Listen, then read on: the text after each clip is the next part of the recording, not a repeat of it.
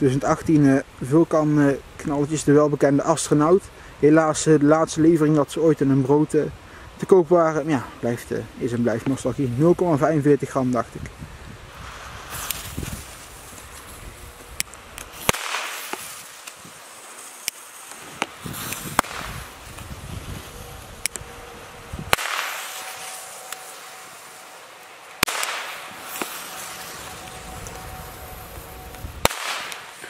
Helaas uh, lang niet meer uh, de kwaliteit van vroeger, maar uh, snip het nog steeds. Dus is en blijft leuk.